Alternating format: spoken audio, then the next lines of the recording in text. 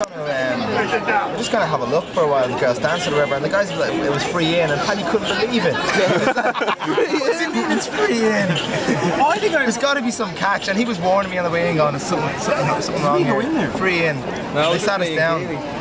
Really. They were like, "You have to pay fiver for a beer or a coke." So we're like, "We'll have a beer and a coke." Like. Didn't they say, do you want to buy us a drink? Yeah. Yeah, but then two girls and then came they were in. They sat on either side of us, right? And there was two tables in front of us, and they just started going. No, like, but the "Oh, two girls you sat down, Like, right? They started Two going. girls sat down and he goes, Can we have a drink? We're like, Yeah, get a drink.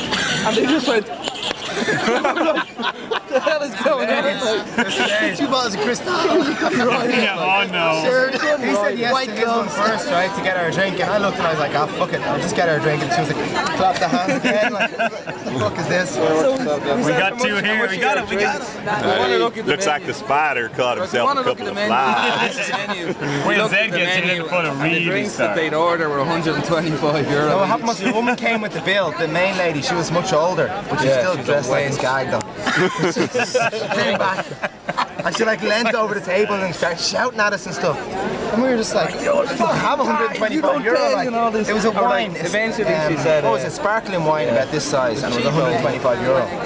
Eventually said, okay, you just pay for one. And we're like, no, we pay for none. Like, we're like, how much? Uh, how much have you got? What happened like, was we, we said, give, we said, give us a reasonable price, we paid for it. She was like, 20 euro for each one. We were like, and we said, okay, and threw them a tenner and walked out.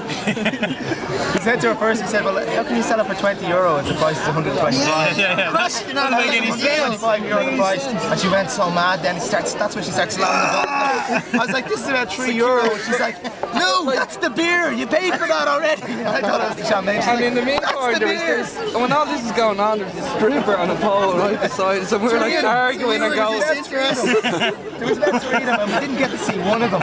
We're kind of looking at the corner of our eye every now and again. You're ruining the whole thing for us. wench in her and going, you'll fucking die. And we're like, Okay, we'll die later. yeah. We threw her a tenner and we got up. We walked out. Then she had the little torch she had to light, to light the menu. She hit me in the head with it then. She was so frustrated. Yeah. She goes like this. It's like, Jesus. And then that's when we were like just like, ring, like, that's when we were just like, right now we have the authority to just leave. You better just go. Keep your tenner.